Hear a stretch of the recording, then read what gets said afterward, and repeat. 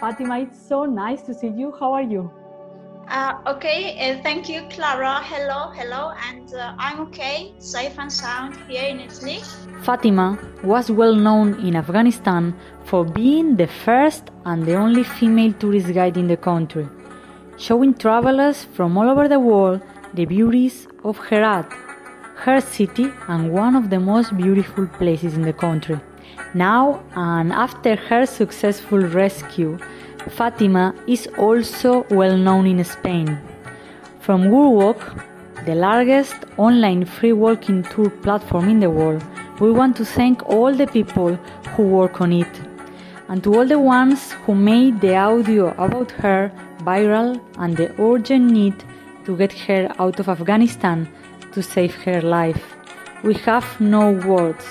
Thank you, thank you, thank you. Fatima, it's so nice to see you. How are you? Uh, okay, uh, thank you, Clara. Hello, hello, and uh, I'm okay, safe and sound here in Italy. So uh, I, I just from your channel, I just send my warm regards to all the people all around the world, and uh, just from the bottom of my heart, thank you. Uh, so you really supported me. You really just send me lots of positive energy. And uh, you know if i'm here right now it's because of you. Thank you so much actually when when i was in herat i was thinking uh, this situation uh, won't get worse from this much because i believed in the government and i i believe taliban cannot even take herat so uh, warned me that be careful because you are targeted. So as the situation was getting worse and worse i didn't like uh, actually to leave herat uh, because my loved ones were, were there and my people my students and everyone were there so um, because people were asking me a lot my friends uh, everyone was asking me fatima you are in danger get out of here uh, so I just uh, thought with myself uh, for the sake of the people who I love them and I just want to do something for them. So I have to live here because I need to be survived. If I want to do all these things, I, I just wish to do. I just uh, left Herat before Taliban came to take our town and also the Herat airport so successfully i just could came to kabul. In kabul i was uh, staying in a dormitory. I just rented a room there in the dormitory. I was not thinking about leaving the country. I was thinking about this that uh, i was waiting for the uh, afghan uh, just government and the soldiers there and the people just take back the herat and i turned back to herat. I was thinking about this. So I, I don't know what happened. Uh, the day I wanted to just uh, leave uh, uh Kabul and just uh, uh, go to Pakistan, actually i had the flight the tomorrow of that day. The man or the manager of our dormitory just knocked our door and he told me that fatima you have to leave here. We cannot just protect you anymore. Taliban are coming and just hurry up because you don't have any time. So i was i, I didn't know what to say on how to reply him. I, I, I was just shocked and I, I, didn't know what to do. I took as my suitcase and also my backpack. I just get out of the dormitory. When I just got out, I, you don't know what the fuck was that.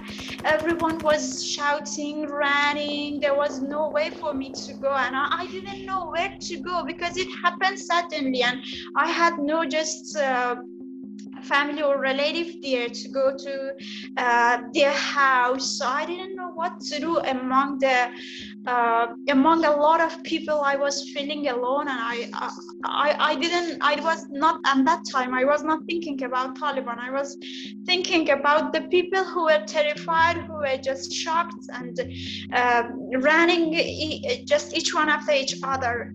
So I was walking. I was walking just uh, with with no uh, destination, where to go and what to do. I was walking among the people. Everyone was crossing me. Uh, you know, on that time I was just like this. I, I didn't have any chador with myself or a burqa with myself. Everyone was shouting me, "Hey girl, you are crazy. Are you want to kill yourself? Do you want to kill yourself? Why don't you have a burqa with yourself? Get out of here, go to your home. Everyone was telling me this. Uh, actually, I, I, I didn't know what to do. I was walking uh, on unknown streets among unknown people. Uh, then, uh, so uh, it was two uh, in the afternoon that the dorm i was i get out of the dormitory Hmm. and it was just um, eight uh, at night that uh, my phone rang and i answered that. That was uh, just uh, the outer operator. He called me and told me fatima where are you? I told them i'm just uh, walking here and i don't he told me what are you doing there and uh, come to my house. So i just talked to a driver and he just uh, took me there on the way when we were when he was driving. In some parts they were taliban and as i i, I just saw them i i just covered my fe- face with this scarf i had with myself. And uh, i was praying it just if once they stop the driver. So thanks to god they didn't stop and we, we just get to there uh, I, I saw my other colleagues also they were there and we just decided uh, uh, because i missed the pakistan flight on that day they were taliban. I couldn't go to event to the airport. So uh, uh, we decided to get out of here. So uh, beside you there were many other people who had my name on the flights list and i didn't know the day we, we just stayed there and we couldn't get out. I was just staying in a room with two of my colleagues uh, who were girls too. We were staying there and we couldn't get out of there.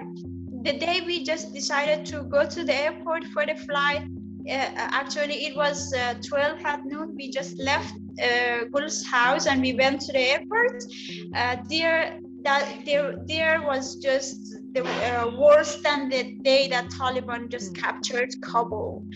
Uh, Taliban just were shooting with guns. Uh, they were hitting people, just uh, pushing them.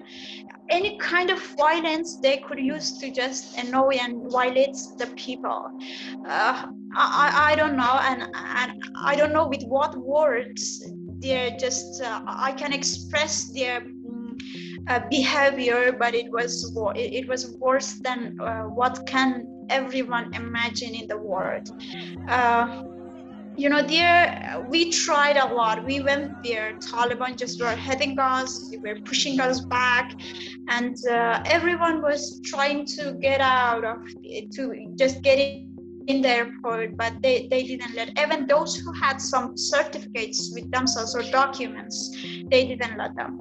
So we tried a lot till night, uh, nine at night, we couldn't enter to the airport, and the situation has got worse. They were shooting with guns.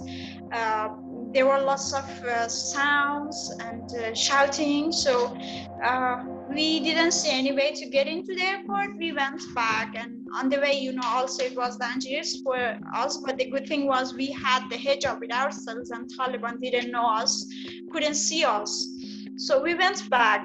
Uh, I told them, let's try again. We could find someone to just get us near to the foreigner, just soldiers, and we just give him uh, $300. So he was a kind of in contact with Taliban and he just from another way he just took us near to the soldiers. There was also a lot of crowded, but the good thing was Taliban was not there. So there we could contact with the foreigner soldiers and uh, successfully an Italian soldier he could find us and uh, just he just took us into the airport.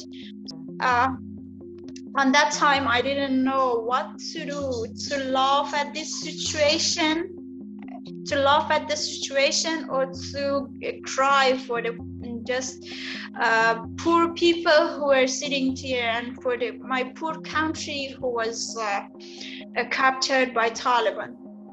So uh, hopefully, I need to thank to the Italian government they took us to their camp, and after just two nights spending there, we could come here in Italy. Actually, in, in Spain, I need to thank you first and your your colleagues who worked on just to get out of me, and then the uh, Spain government who just heard my voice, and also I need to thank Italian government, American government, uh, the Poland just. Uh, people there in Poland and also in France who just tried to uh, get me out. Actually, the people who tried to get out. So I really need to thank them. Um, actually, uh, I think I'm nothing. It's people who are kind and they just like me, and, and this is uh, uh what make me stronger to uh, no matter if I'm in another country, surely it's very hard. And leaving Afghanistan was the hardest decision in my life to leave all my country, my people, and my loved ones there and to come here. But surely it was hard. But here I also need to restart my life and I'm sure if no matter if I'm here, I can do something for my people there also. Because you were teaching, uh, because uh,